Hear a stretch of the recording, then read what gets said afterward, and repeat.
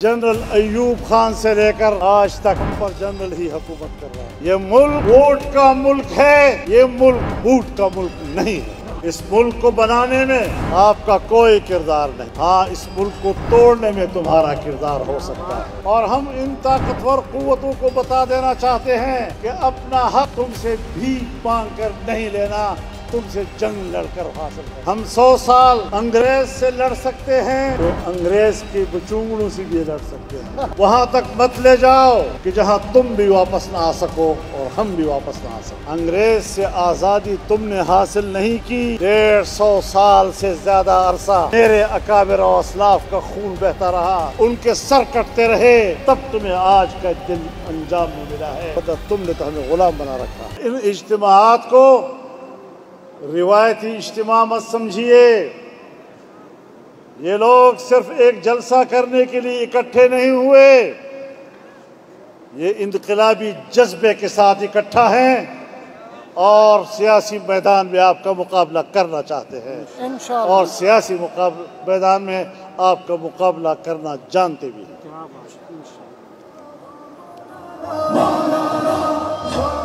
हालात को वहाँ तक मत ले जाओ कि जहाँ तुम भी वापस ना आ सको और हम भी वापस ना आ सको। ये मुल्क हमारा है।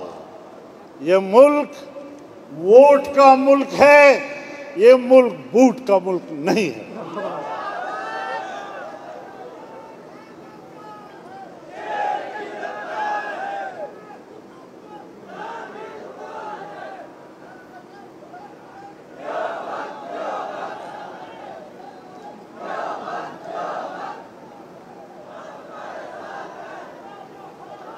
एक जमाना था,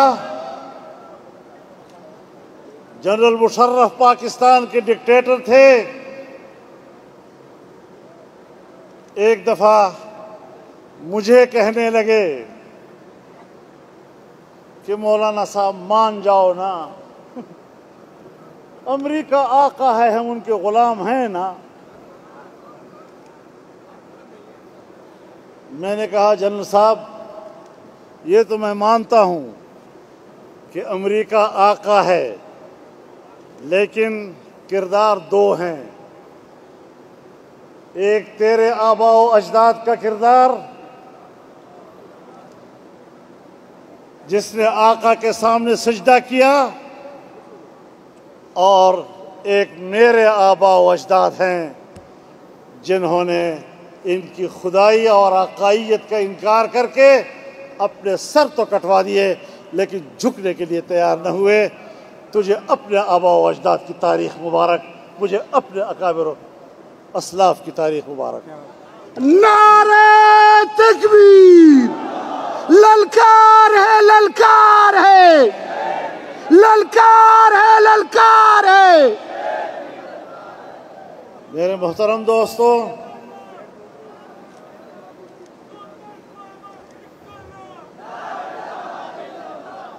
अंग्रेज़ से आज़ादी हासिल ही हुई।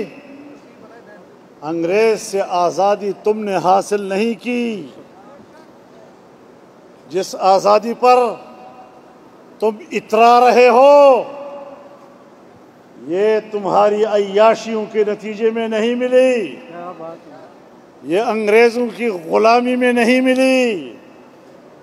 डेढ़ सौ साल से ज़्यादा अरसा मेरे अकाबिर असलाफ का खून बहता रहा। उनके सर कटते रहे, वो सूलियों चढ़ते रहे, तब तुम्हें आज का दिन अंजाम में मिला है और नतीजे में मिला है, वरना तुमने तो हमें गुलाम बना रखा है। सो अगर हम सौ साल अंग्रेज़ से लड़ सकते हैं तो अंग्रेज़ के बचूंगड़ों से भी लड़ सकते हैं। वाह मौलाना वाह वाह खैर वाह बस एक आपको थोड़ा सा हौसले की ज़रूरत होगी। हिम्मत नहीं हारनी। पार्लियामेंट की तरफ़ मत देखो कि वहाँ कितने लोग बैठे हैं और कितने नहीं। इस मैदान में देखो कौन बैठा है और कितने बैठे हैं। मेरे मोहतरम दोस्तों जो मुल्क हमने ला इलाहा की बुनियाद पर हासिल किया। यही एक ही कुव्वत है पाकिस्तान में, जो ला के सामने रुकावट है। जिसने पचहत्तर साल में इस मुल्क को इस्लामी मुल्क बनाने में सियासतदानों के किरदार का रास्ता रोका है।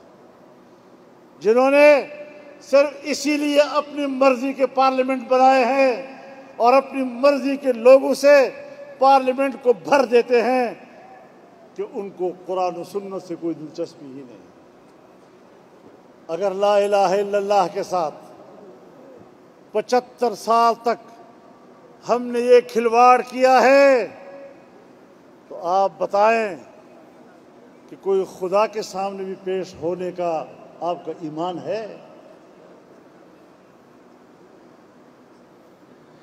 तुमने इस्लाम से गद्दारी की। आज भी सुप्रीम कोर्ट में यही मुकदमा चल रहा है।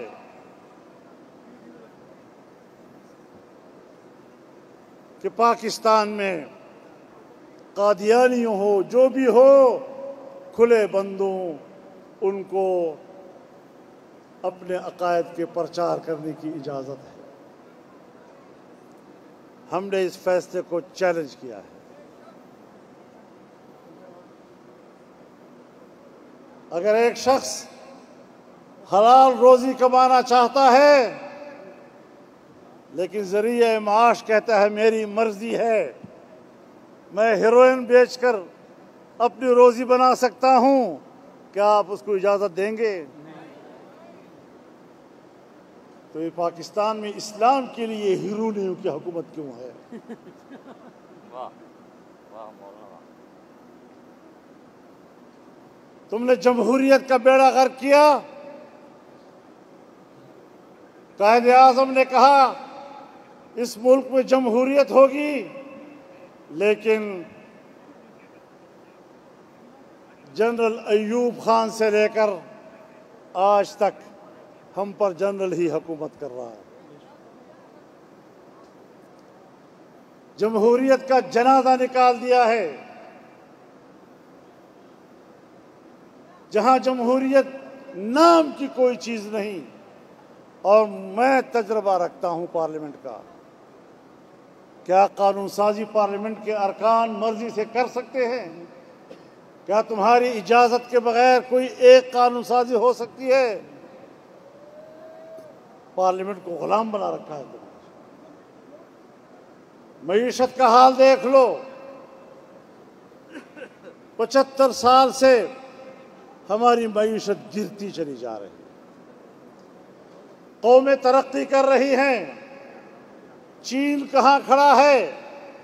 हिंदुस्तान कहाँ खड़ा है? मलाइशिया, इंडोनेशिया कहाँ खड़े हैं?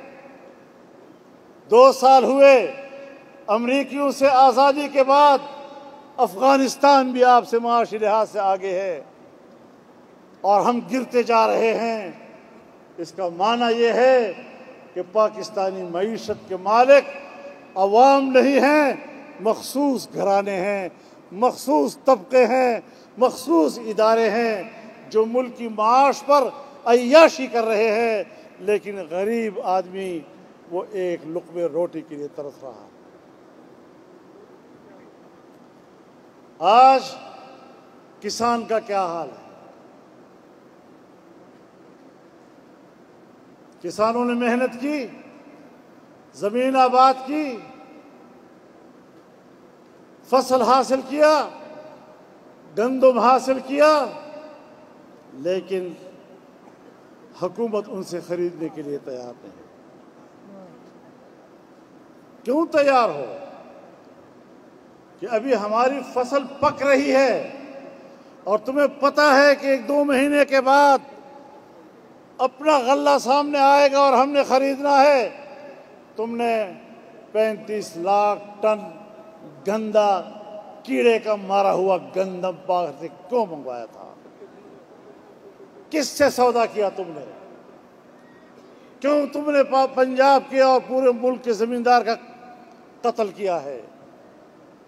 और याद रखो पंजाब के ज़मींदारों पंजाब के किसानों जमीयत वो जमात है जब सन 1968 में जमीयत इस्लाम का पहला मंशूर छपा तो हमारी क़ियादत ने सबसे पहले किसान का नारा लगाया था। मजदूर का नारा लगाया था गरीब का नारा लगाया था और आज भी हमारे मंशूर में कोई तरमीम नहीं हुई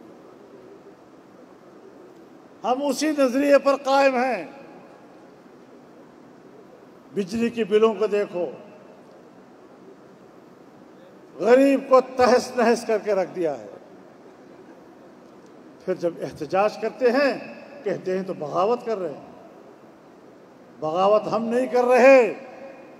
बगावत वो ताकतवर इदारे कर रहे हैं जिन्होंने कानून को अपने हाथ में लिया हुआ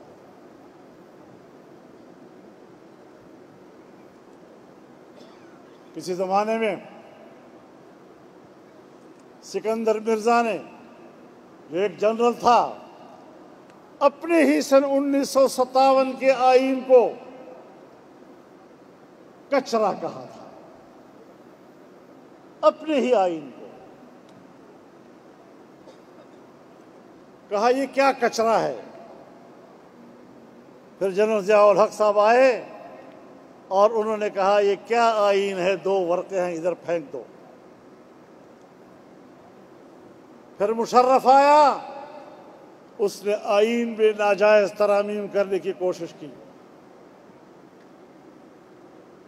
लेकिन मेरे मोहतरम दोस्तों, हमारा हदफ वाज है कि हम आवाम को उनका हक वापस दिलाएँगे। लेकिन याद रखो अपने हक के लिए खुद लड़ना होगा और हम इन ताकतवर कुवतों को बता देना चाहते हैं कि अपना हक तुमसे भीख मांग कर नहीं लेना तुमसे जंग लड़कर हासिल करना है।